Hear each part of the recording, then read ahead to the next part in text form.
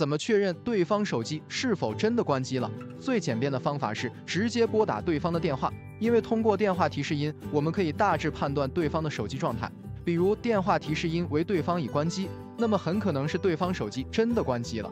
如果提示音为对方正在通话中或暂时无法接通，则可能是对方手机信号不好或处于飞行模式。或者如果你被对方拉黑了，也可能收到暂时无法接通之类的提示。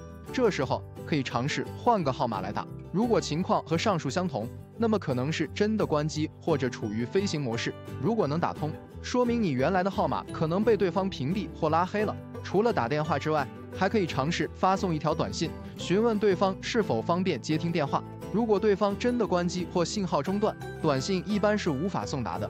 当然，现在黑科技不少，可以提供远程定位或电话追踪服务，但这涉及个人隐私和道德问题，需要三思后行。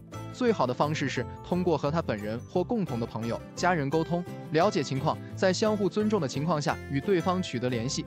关注我，带你了解更多实用数码科技小贴士。